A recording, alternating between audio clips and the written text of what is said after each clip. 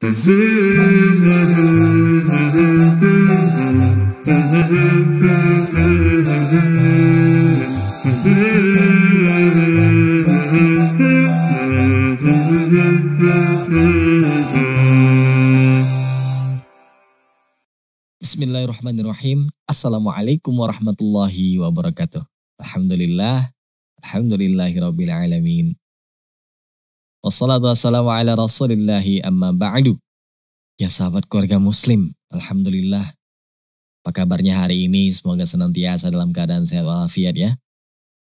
Ini Alhamdulillah sekali kita, Masya Allah ya udah gak terasa udah 50-an lebih episode kita sama-sama kalau satu episode kita bahas tiga pertanyaan, artinya udah ratusan yang ratusan persoalan yang kita bahas. Banyak sekali berarti yang bisa kita bahas di sini gitu ya. Tentu saya yakin ya teman-teman semua di sini masih banyak yang mengganjal gitu ya. Maksudnya yang pengen ditanyakan, jangan malu-malu. Ya, ditanyain aja. Nah sebelum itu saya ingin Memperkenalkan terlebih dahulu walaupun mungkin udah pada kenal kali ya. Ya saya Ruci Ardi yang insya Allah akan menemani antum semuanya di 30 menit ke depan. Kita berada di episode 55 insya Allah. Yang nantinya kita akan bersama narasumber kita Ustadz Roshid insya Allah. Namun sebelum kita bacakan pertanyaan pertama, seperti biasa saya ingin mengajak terlebih dahulu untuk terus berdonasi ke Salam TV Peduli agar kami bisa terus mengudara di tengah-tengah umat untuk menyampaikan kebaikan. Dan tidak lupa saya ingin mengajak juga untuk bergabung di program Halo Ustadz dengan cara chat ke nomor WhatsApp 0822 67064546. Apabila antum semuanya memiliki pertanyaan dan memerlukan jawaban dari sudut pandang agama silahkan tanyakan langsung. Ya baik, langsung aja kita hubungi Ustadz Roshid untuk pertanyaan yang pertama.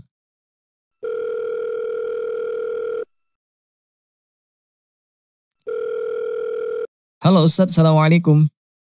Waalaikumsalam warahmatullahi wabarakatuh. Ustadz, mohon berikan nasihat atau amalan agar dapat sukses dalam pendidikan dan istiqomah menimba ilmu. Nah, mohon nasihat-nasihatnya Ustadz. Bismillahirrahmanirrahim. Alhamdulillahirrahmanirrahim. Sallallahu wasallam wa baraka ala nabina Muhammadin wa ala alihi wa ashabihi ajma'in. Istiqamah dalam uh, pendidikan ataupun menuntut ilmu inilah perkara yang azim perkara yang sangat besar. Mengapa demikian? Karena memang orang yang diberi topik oleh Allah Jalla untuk bisa melakukan uh, menuntut ilmu ya, untuk diberi topik untuk menuntut ilmu ya, melakukan pendidikan. Tapi pendidikan yang kita maksud di sini adalah pendidikan agama ya, pendidikan agama. Tentu adalah suatu uh, hal yang sangat mahal. Kita diberi oleh Allah Jalla kemudahan kita diberikan oleh Allah Jalla topiknya agar kita selalu istiqomah, agar kita selalu mampu untuk menuntut ilmu. Nah, eh, bagaimana kiatnya? Bagaimana caranya? Tentu pertama adalah luruskan niat ya. Niat. Orang kadang-kadang keliru dalam memahami uh, niat dalam tolabul ilmi, niat dalam menuntut ilmu, dalam pendidikan. Ingat, niat dalam menuntut ilmu itu bukan untuk mencari dunia, bukan untuk mendapatkan gelar, bukan untuk mendapatkan uh, jabatan, harta dan sebagainya. Pak Ustadz, ada orang yang menuntut ilmu dan dia mendapatkan jabatan, mendapatkan harta. Nggak ada masalah, bukan dilarang kita itu. Yang dilarang itu adalah niat awalnya jangan sampai salah. Niat awalnya adalah lillahi ta'ala. Kita menuntut ilmu karena perintah Allah. Kemudian apa? Untuk lirafil jahli minna wa min ghairina. Untuk mengangkat kebodohan dari kita dan orang lain. Kalau niat kita seperti ini sudah benar, kita lillahi tabaraka wa ta'ala, kemudian untuk mengangkat kebodohan dari diri kita dan orang lain, kemudian kita diberi oleh Allah SWT jabatan nantinya, harta umpamanya, ya, dan lain sebagainya, itu adalah karunia dari Allah. Nggak ada masalah. Selama niatnya tetap seperti itu. Sehingga kalau orang yang berniat yang seperti ini, maka jabatan yang didapatkan, harta yang didapatkan, dunia yang didapatkan, tidak akan menggoyahkan dia dari negeri akhirat. Karena dia tahu, karena dia selama ini menuntut ilmu karena Allah kok. Dia menuntut ilmu bukan untuk uh, mendapatkan harta semata tidak. Dia lillahi taala kemudian untuk mengangkat kebodohan diri dan dirinya dari dirinya dan orang lain. Maka kiatnya tadi ikhlaskan niat dalam menuntut ilmu. Ya. Yang berikutnya ya dalam pendidikan dan menuntut ilmu tentunya. Yang kedua yang berikutnya adalah skala prioritas harus diketahui dalam kita menuntut ilmu. Jangan kita ya menuntut ilmu ini menuntut ilmu yang sifatnya duniawi saja tidak. Utamakan ukhrawinya. Utamakan ukhrawinya. Karena apa pun ceritanya, orang yang hidup dunia ini pasti akan mati kan. Tidak ada orang hidupnya panjang hidupnya. Usianya panjang. Tidak. Semua kita akan dipanggil oleh Allah SWT. Bekal disiapkan untuk menuju akhirat. Bekal untuk menuju akhirat itu adalah ilmu agama agar kita benar-benar beribadah kepada Allah. Karena kata para ulama, la yu'badullah illa bil ilmi. Allah itu enggak diibadahi kecuali dengan ilmu. Kemudian yang berikutnya adalah setelah tadi niat diluruskan, kemudian juga sekali prioritas dalam pendidikan, terutama ilmu agamanya terkait dengan akidahnya, ibadahnya, muamalah dan akhlaknya. Yang berikutnya juga adalah cari lingkungan yang baik untuk kita selalu bisa menuntut ilmu, untuk kita bisa istiqomah dan nanti sukses dalam pendidikan, cari lingkungan yang baik. Cari tempat yang baik. Makanya ketika kita mendapatkan tempat yang tidak baik, yang tidak mendukung kita untuk berilmu, untuk hadir di majelis ilmu, tinggalkan tempat itu. Cari tempat yang benar-benar kondusif untuk kita bisa mendapatkan ilmu dan talabul ilmi sehingga kita bisa mendapatkan kebahagiaan hidup di dunia dan di akhirat. Wallahu taala alam. Iya, syukran jazakallah khairan Ustaz Rashid atas penjelasan dan jawaban yang Masya Allah. Teman-teman ini tentu berlaku bagi kita semua ya. Dan tidak ada batasan usia untuk menimba ilmu atau eh, ya istiqomah menimba ilmu tadi tidak ada batasan usia. Namun kalau kita masih muda tidak ada salahnya dan bahkan sangat dianjurkan untuk terus menimba ilmu.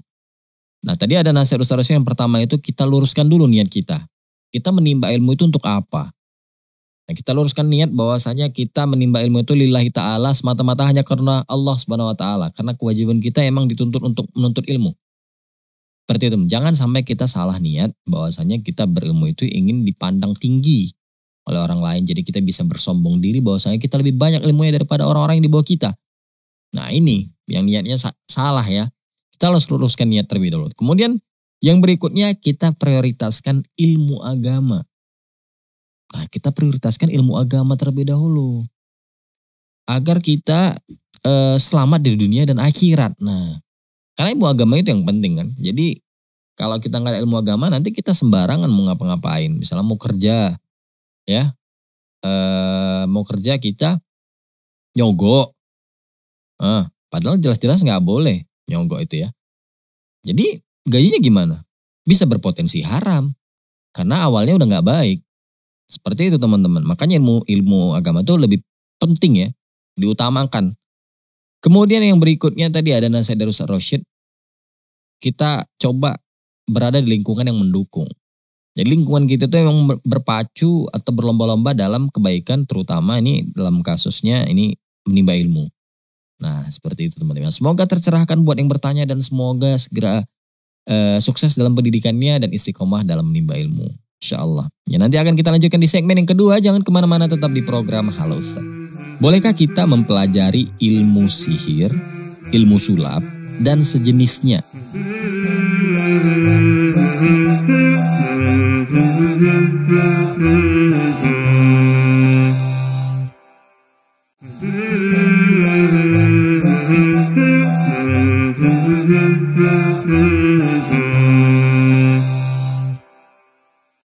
Sahabat keluarga muslim kembali lagi di program Halo Ustadz ada pertanyaan insya Allah ada jawabannya.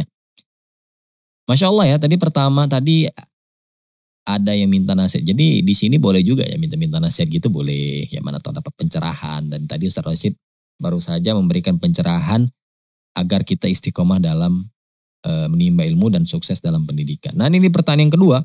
Wah ini ini sering sekali nih ada beberapa ilmu bahkan yang kemarin ya cukup viral di ajang internasional eh, teman-teman tahu ya nah, itu ada kejadian ya sebenarnya itu nggak boleh tapi nanti kita pastiin lagi ke Ustaz Rasyad. Namun sebelum saya bacakan pertanyaannya, saya ingin mengajak terlebih dahulu untuk terus berdonasi ke Salam TV Peduli. peduli. Agar kami bisa terus mengudara di tengah-tengah umat untuk menyampaikan kebaikan. Dan tidak lupa saya ingin mengajak juga untuk bergabung di program Halo Ustadz dengan cara chat ke nomor WhatsApp 082267064546 apabila antum semuanya memiliki pertanyaan dan memerlukan jawaban dari sudut pandang agama silakan tanyakan langsung. Yuk, mari langsung kita hubungi Ustaz untuk pertanyaan yang kedua.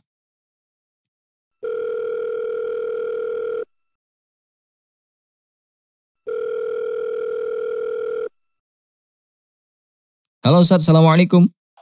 Waalaikumsalam warahmatullahi wabarakatuh.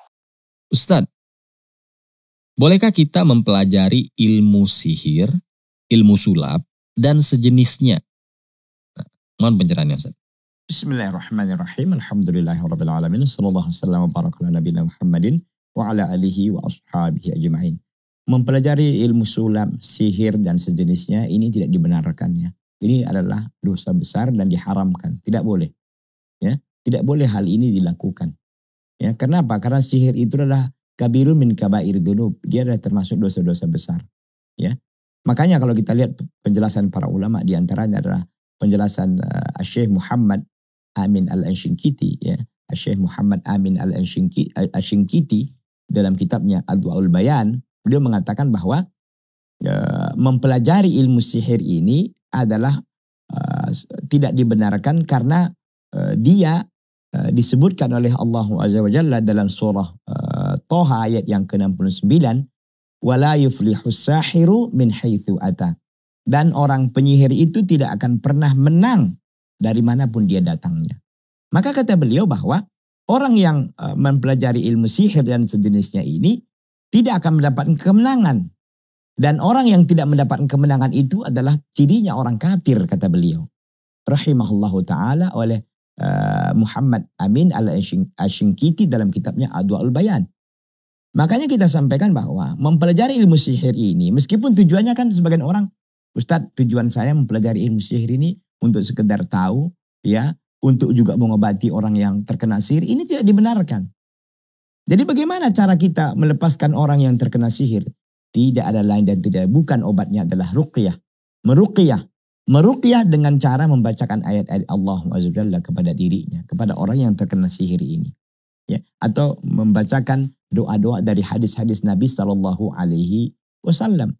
Bukan dengan cara-cara kita mempelajari sihirkah itu, ya mungkin juga guna-gunakah itu, pelet-peletkah itu. Ini semuanya dosa besar, tidak boleh dilakukan. Ya, makanya kata Nabi Shallallahu Alaihi Wasallam, Inna ruqa wa tamaima wa tiwalata syirkun. Sesungguhnya jampi-jampi, ya jimat-jimat dan pelet-pelet itu semuanya adalah syirkun itu kesyirikan. Termasuk di sini adalah sihir itu.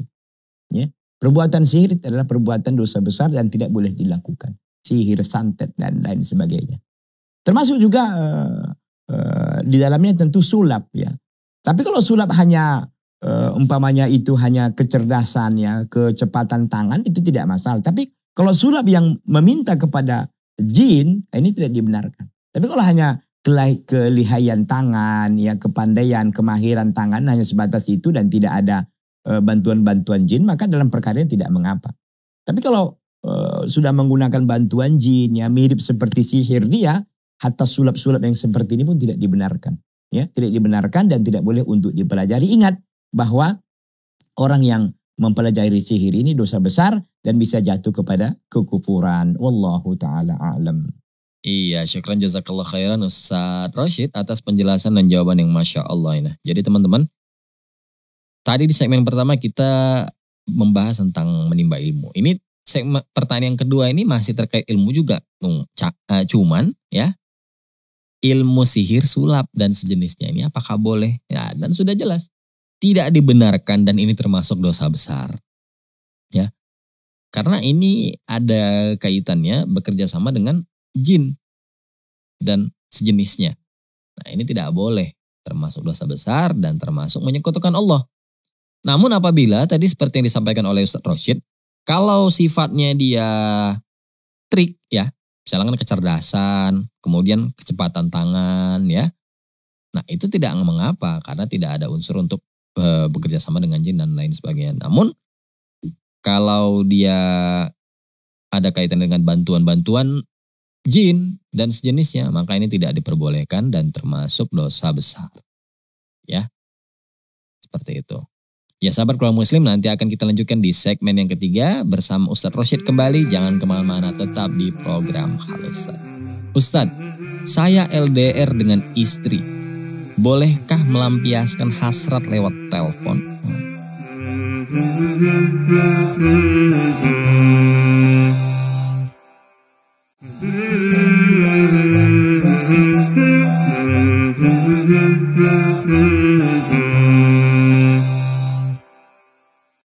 keluarga muslim, kembali lagi di program Halo Ustadz ada pertanyaan insya Allah ada jawabannya. Jadi segmen dan pertama dan kedua tadi kita sudah sama-sama membahas ilmu. Namun yang pertama adalah bagaimana kita fokus di ilmu agama. Kemudian yang kedua tadi ada tentang ilmu sihir dan sejenisnya dan jelas-jelas tidak diperbolehkan ya. Nah ini di pertanyaan ketiga ini terkait rumah tangga ya terkait rumah tangga lagi. Ini memang problem rumah tangga ini asik sekali kita bahas ya. Namun sebelum saya bacakan pertanyaan ketiga, saya ingin mengajak terlebih dahulu untuk terus berdonasi ke Salam TV Peduli agar kami bisa terus mengudara di tengah-tengah umat untuk menyampaikan kebaikan. Dan tidak lupa, saya ingin mengajak juga untuk bergabung di program Halo Ustadz dengan cara chat ke nomor WhatsApp 0822 6706546 apabila antum semuanya memiliki pertanyaan dan memerlukan jawaban dari sudut penagama silahkan tanyakan langsung. Ya baik langsung aja kita hubungi kembali Ustadz Roshid ya untuk pertanyaan yang ketiga.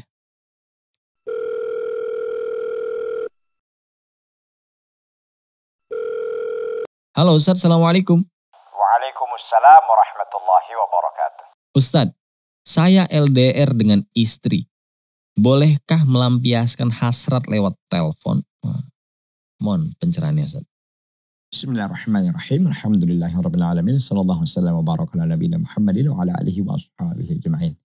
Uh, melampiaskan hasrat ya uh, kepada istri lewat telepon atau istilahnya LDR dengan bahasa gaul atau bahasa milenial hari ini, maka uh, para ulama mengatakan di antaranya adalah Syekh Muhammad bin Shalih Al Utsaimin uh, menjawab pertanyaan seperti ini. Beliau mengatakan la mani tidak mengapa ya madama la tustamal bil selama tidak dilakukan dengan tangan. Maksud beliau tidak sampai onani begitu. Nah, ketika seorang uh, suami barangkali uh, jauh dari istrinya, mungkin karena pekerjaankah atau karena yang lain, maka tidak mengapa dia melakukan uh, melampiaskan hasrat dan keinginannya melalui telepon. Atau mungkin sekarang nih uh, mungkin lebih ini lagi mungkin uh, melalui video call atau lain sebagainya. Tetapi intinya ini boleh dilakukan dengan tiga catatan ya. Yang pertama bahwa catatannya ini dilakukan oleh suami dan istri. Dipastikan bahwa yang melakukan ini suami dan istri. Bukan uh, seorang yang masih calon. Kalau dia calon suami, calon istri nggak benar. Nggak dibolehkan, ini haram. Ini zinanya hati, zinanya mata, dan zina pendengaran. Ini nggak boleh. Ya, Harus dipastikan bahwa yang melakukan ini adalah benar-benar seorang suami dan seorang istri yang sudah resmi menjadi seorang suami dan menjadi istri. Kalau hanya sebatas calon, apatah lagi itu orang lain, itu dosa besar yang nggak boleh dilakukan. Itu termasuk zina hati, zina mata, dan zina telinga. Itu catatan pertama. Catatan yang kedua, dipastikan tidak ada orang lain yang mendengar omongan itu. Tidak ada orang lain yang mendengarkan omongan itu.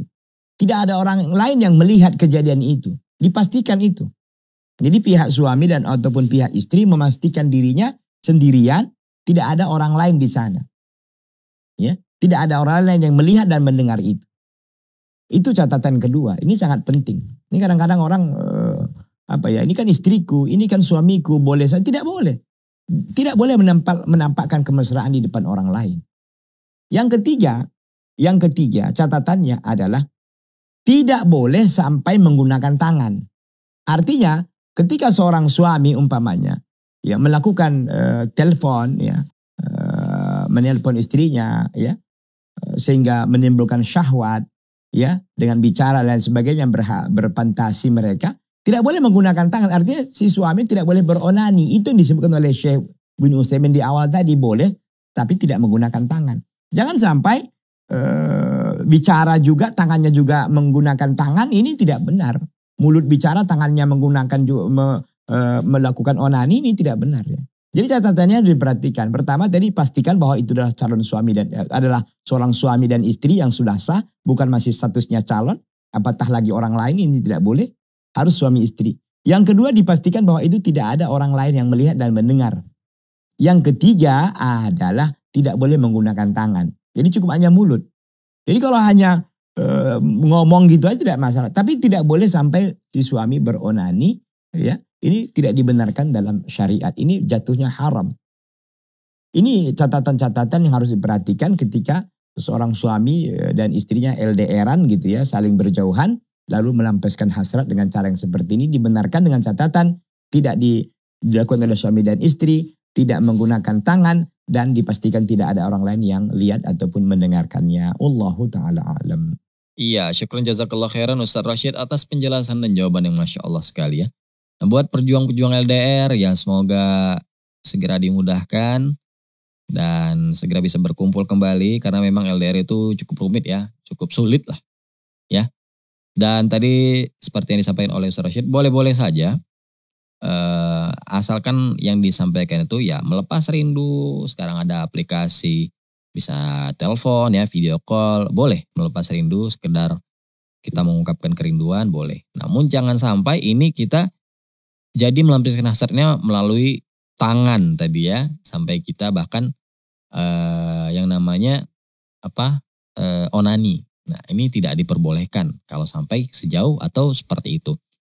Jadi ini hanya sebatas ya bagaimana kita mengungkapkan hasrat kerinduan kita. Ya, kita video call, kita lihat uh, wajah istri kita, kita rindu. Nah seperti itu. Hanya sebatas ungkapan-ungkapan bahwasanya kita memang dalam keadaan sehat dan ya sekedar bertatap muka lewat aplikasi video call. Seperti itu teman-teman ya. Jangan sampai melakukan hal-hal yang menjadinya haram dan tidak diperbolehkan. Ya, Allah taala alam. Ya sahabat kaum muslim, kita akan bertemu kembali di episode selanjutnya. Namun sebelum saya tutup, di episode 455 ini, saya ingin mengajak kembali untuk terus berdonasi ke Salam TV Peduli agar kami bisa terus mengudara di tengah-tengah umat untuk menyampaikan kebaikan. Dan tidak lupa saya ingin mengajak juga untuk bergabung di program Halo Ustaz dengan cara chat ke nomor WhatsApp 0822 Apabila antum semuanya memiliki pertanyaan dan memerlukan jawaban dari sudut pandang agama silakan tanyakan langsung. Akhirnya saya Ruci Ardi bersama seluruh kerabat kerja yang bertugas pamit undur diri. Mohon maaf apabila ada salah kata. Kita akhiri dengan doa kepada majelis. Subhanallahumma bihamdika. Wa. Assalamualaikum warahmatullahi wabarakatuh.